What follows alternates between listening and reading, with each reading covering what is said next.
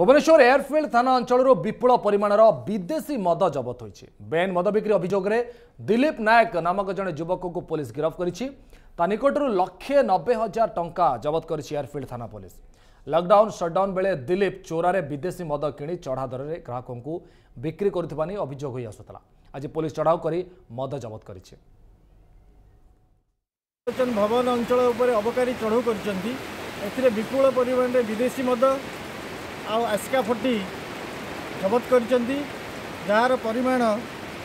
ଶହେ ଏକାବନ ଲିଟର ପାଞ୍ଚଶହ କୋଡ଼ିଏ ମିଲିଲିଟର ଅଟେ। ଓ ତା ସହିତ ବିକ୍ରି ବାବଦ ବିକ୍ରି କରିଥିବା ଟଙ୍କା ଏକ ଲକ୍ଷ ନବେ ହଜାର ସାତଶହ ସତୁରି ଟଙ୍କା ମଧ୍ୟ ଜବତ କରିଛନ୍ତି